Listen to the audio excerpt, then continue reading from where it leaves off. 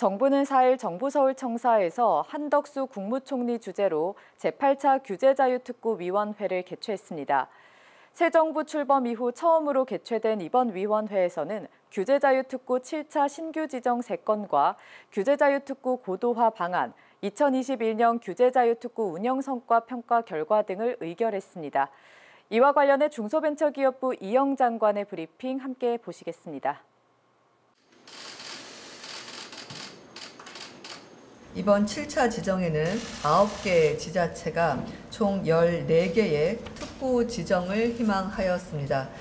규제 신속 확인, 전문가 회의, 분과위원회, 심의위원회 등을 거쳐서 기술성과 사업성이 우수한 전남 개조 전기차 특구, 경북 전기차 차세대 무선 충전 특구, 경남 암모니아 혼속 연료 추진 시스템 선박 특구 총 3개를 특구위원회에 상정하게 되었습니다. 전남 개조 전기차 특구는 소형차, 중형차 등 9종의 내연기관 차량을 전기차로 개조하고 주행 안전성을 확인하는 사업입니다.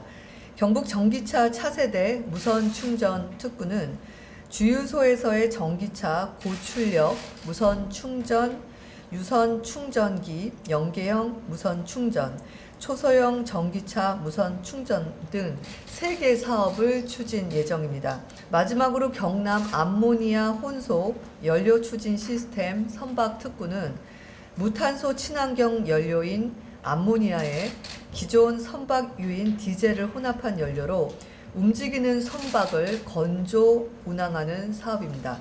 이번 7차에 신규 지정되는 세개 특구 모두 친환경 모빌리티 실증 과제로서 미래 신산업을 이끌 핵심 기술을 확보하고 친환경 사회 구축에 기여할 것으로 전망하고 있습니다. 또한 지자체 추산 특구 지정 기간 내 매출은 1,680억 원, 고용 창출은 582명, 기업 유치 및 창업은 32개사의 성과를 낼 것으로 예상하고 있습니다. 이번 특구위원회를 통해서 전국의 규제 자유 특구는 총 32개로 확대되고 특구 제도는 더욱 고도화될 예정입니다. 규제 자유 특구를 통해 신기술, 신산업 분야 기업들이 마음껏 혁신 역량을 발휘할 수 있고 규제자유 특구는 지역의 혁신 성장 거점으로 성장할 것으로 기대하고 있습니다.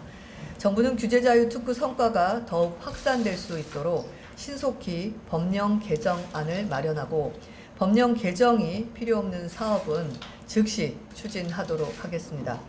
또한 글로벌 성장 가능성이 높은 특구는 글로벌 혁신 특구로 집중 육성해 나갈 계획입니다.